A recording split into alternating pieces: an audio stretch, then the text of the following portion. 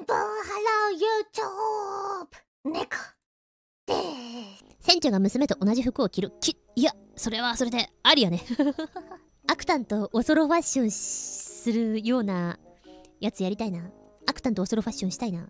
でもアクタンさプライベートかなり服キュルキュルだからな。船長じゃ絶対着ないなっていうような。可愛い服着るのよ。キュルンキュルンの。もうあんなんさ30歳が来たら犯罪だよもう。てかさなんかさっき船長のさ配信見ながらさ準備してたんだけどさなんか船長がさスパチャミの時にさなんかおそろおそろっちコーデしたいみたいな。でもフリフリだからうんちゃらかんちゃらほんちゃらなんちゃら言ってたんだよな。船長おそろっちコーデするか船長。まだいけるって船長。まだいけるとか言って。船長いけるよ。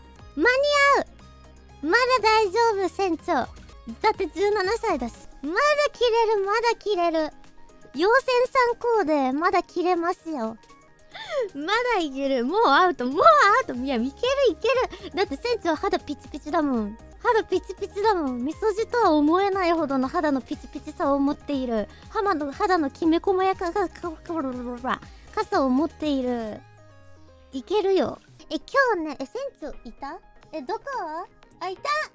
早めのアンチエイジングがみそじになった時聞くよ。響くよ。